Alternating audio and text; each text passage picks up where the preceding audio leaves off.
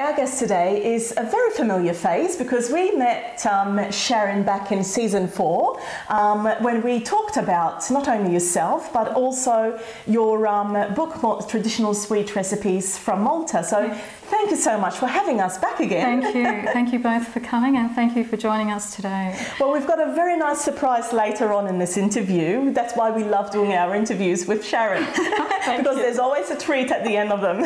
Thanks for that. So, um, we met you for, in season four and we talked about your um, first publication, Traditional yes. Sweet Recipes from Malta. Yes. Um, uh, you have since um, or you're about to release yes. your second, the second volume. That's Tell right. us more about how this came about. Okay, um, a lot of thought went into creating this second volume. Um, and actually thinking about should I create another volume because uh, I had a lot of people approach me for recipes, more recipes, specific recipes. Uh, but beyond those requests, which were quite a few, I felt within myself there was more to give and there was uh, a greater path to follow. So I pursued my second volume of mm-hmm. Maltese Sweets, which has been a lot of work, not only in recipe development, um, I've also went to Malta a few times to create the photography internally. Um, so yeah, it was just something within me that said I've got more work yet to do and people are telling me they'd like more recipes, so it's a win-win. so what are we to expect in the second volume? Um, it's uh, a carry on from the first, um, some quality recipes once again, because that's my focus. Um, a nice varied selection as the first, um, but I think people will be quite happy with what they see. Well, I'm going to be for sure because I know that you have traditional Maltese alcohol. I do, I do. I've uh, last volume actually had limoncello. Mm -hmm. uh, this time we've gone with Bajtra, so the prickly pear liqueur. We've gone with anisette because that's great in baking as mm -hmm. well, and the amaretto, which is mm. amaretto, which is beautiful -hmm. on its own or in baking. So some things to complement your baking, but also you can serve separately to people. What about this beautiful cover that you've got? It's just, oh, it screams you. Malta, doesn't it? Thank you so much. It does. Uh, my husband and myself took that in our trip in December.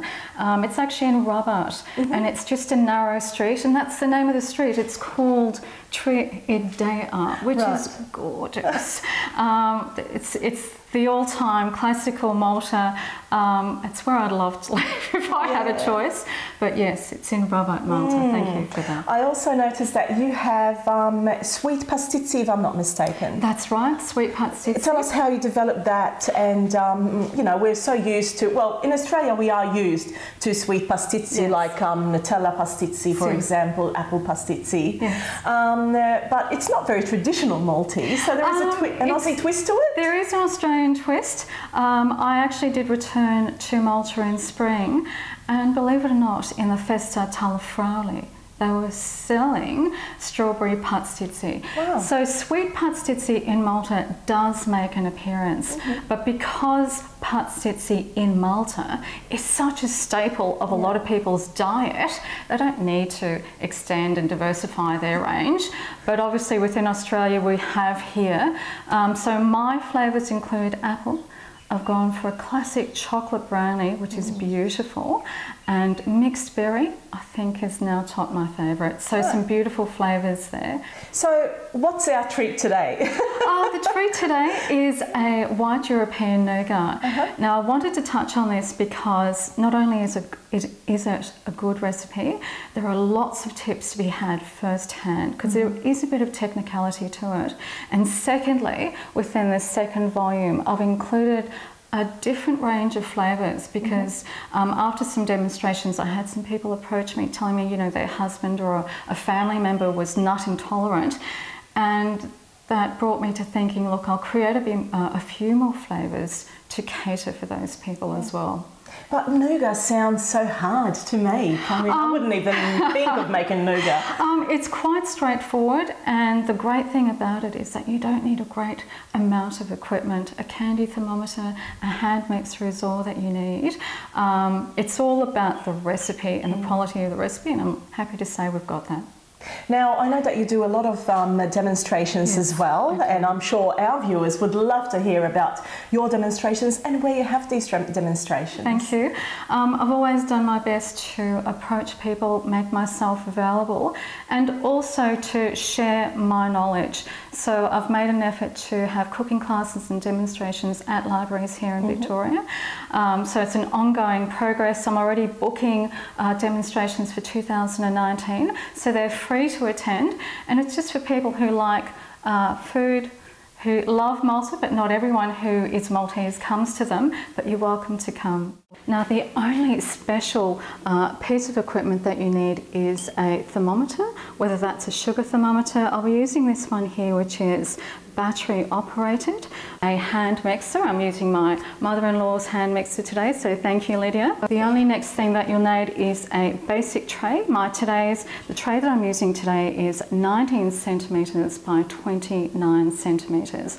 Now start it by lining that with rice paper. Before you begin uh, cooking the syrup, all of the ingredients need to be measured, and the reason for that is is that the uh, syrup cooks very quickly, so you don't want to be caught off guard. The ingredients for today are two and one third cups of white sugar, one cup of liquid glucose, uh, one third of a cup of honey, and two or three tablespoons of water, no more than that.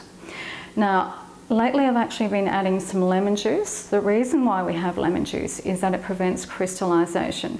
Secondly, once we have the water, sugar, glucose, honey measured, we stir that once into the pot and we brush the sides of the pan with hot water with a pastry brush.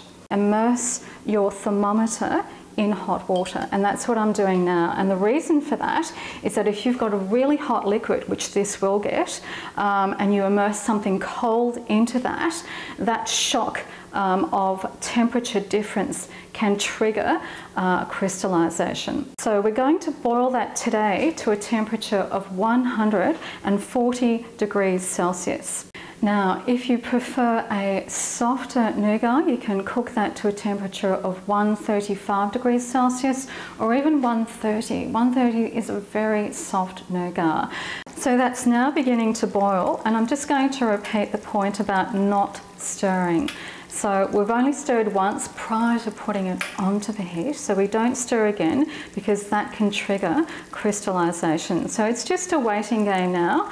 Now when you're immersing your thermometer into the pan, don't touch the base of the metal pan. We're just immersing it into the liquid. The cooking process, as I said, takes a very short time.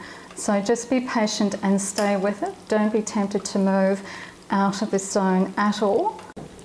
So as we're approaching the temperature that we need, you'll find that the syrup is getting golden, it's getting thicker, and you can see the bubbles. Um, they begin to get larger and burst at a slower rate.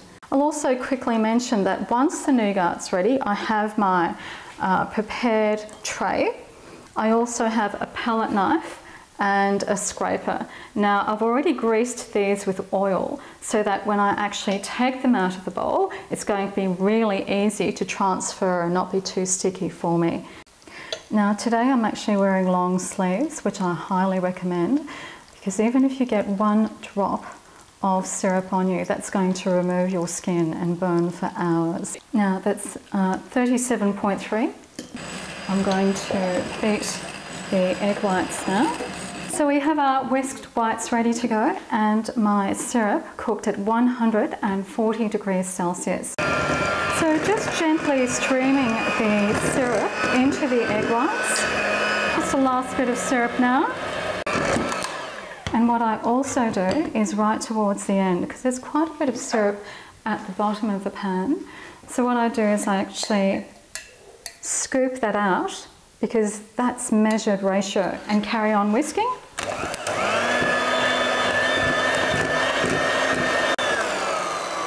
At this point, I also like to be kind to the hand mixer and then I start using my wide spoon. So it's just a nice gentle flicking action. Now obviously it's very hot at this moment, so the egg whites actually are still cooking. So that's going to continue to thicken as it cools. Now, can you see how that's holding its shape? Really? I'm going to immerse the nuts in there, give that a stir. And once you put the nuts in, it actually drops the temperature down because you're, in, you're introducing something else to um, that hot mixture. It comes to a point where it's so difficult to actually mix anymore. That consistency is perfect. So because that's greased, it's going to be really easy for me to transfer that from this bowl into this tray. Can you see that? It's not sticking at all and that's perfectly uh, what I wanted. So scrape down the sides of the bowl. You could, if you wanted to, just overlap that and flatten it out with a palette knife, if that's how you choose to do it. Now, what I'm going to do at this point as well, I'm going to cut some rice paper for the sides of the pan. So I'm just going to smooth that out with the palette knife and allow that to cool. Once that's cooled, I can actually wrap that with cling film. It needs to rest for at least five to six hours before I can cut it and portion it how I'd like to present it. So this is a nougat that I've literally made last night. And as I said, this is half the recipe. So half the recipe produces three bars of nougat. Uh, so Sharon, thank you so much for that. The smell in here was just absolutely beautiful. So this is the basic nougat. Yes. Yeah. So but you've got you've yes. got various um, flavors here. So what else do you have? So we have strawberry, mm -hmm. uh, chocolate, pistachio, and my husband's favourite is orange and apricot. But I'd like to say, with the colour variations, mm -hmm. they mm-hmm. can be mixed as you go along. So those who are not nut intolerant can put nuts in. If you're intolerant to nuts, obviously leave them out.